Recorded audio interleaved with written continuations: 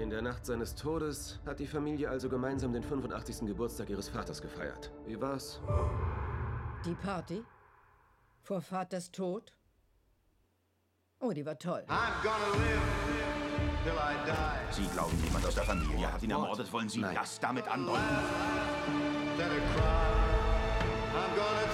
Sie alle lieben es, sich gegenseitig das Messer in den Rücken zu rammen.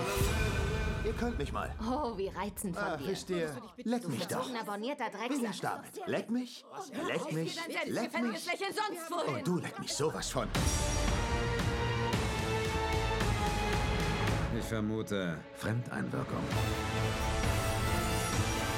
Und ich habe noch keinen als Verdächtigen ausgeschlossen.